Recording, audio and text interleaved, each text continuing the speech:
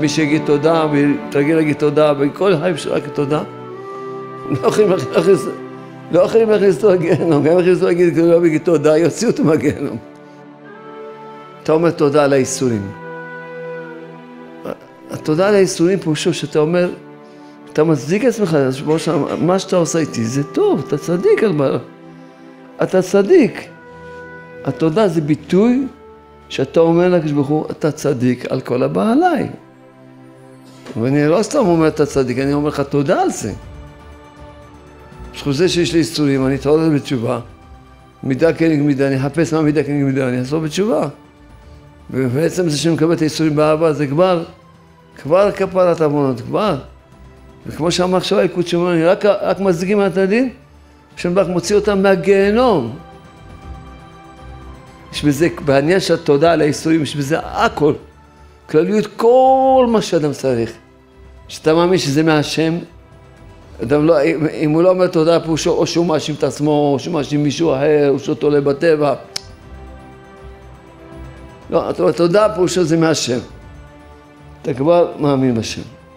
דבר שני, אתה מאמין שהשם אוהב אותך. וכל מה שעושה הכל רחמים. התודה אז פירושו אתה מקבל את השגחת השם ברך בשלמות עליך. תזכרו תמיד את הכלל. אין מי שיכול להיטיב לך או להרע לך אם לא בגזירת הבורא.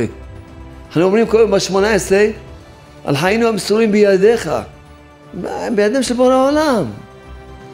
אף אחד לא יכול לגוע בך. אף אחד לא יכול לגוע בחיים שלך. אף אחד לא יכול לשנות את המסלול שלך. אף אחד לא יכול לשנות את החיים של אף בן אדם. היסוד של כל האמונה, להאמין שהשם אוהב אותך. שהכל זה רחמים של השם בך, הכל. אם אדם היה לו אמונה, ביטחון, שלם בשם, היה רואה את הטוב שיש בכל דבר. בכל רע היה רואה את הטוב שלו. אם אדם מאמין שהכל זה חסד ורחמים, אז הוא מרוצה. הוא מרוצה מכל האיסורים שעוברים עליו, הכל. אין, אם היו כולם אומרים תודה, לא, לא היה צרות, לא היה גלויות, כבר הייתה גאולה שלמה. כי העיקר רוצים גאולה שלמה בלי איסורים. מה אתה חושב בעולם? לא רוצה שיהיה גן עדן בעולם הזה? הוא רוצה שיהיה גן עדן. אבל גן עדן יחד איתו. אתה רוצה גן עדן בלעדיו? עם התאוות? בלעדי השם?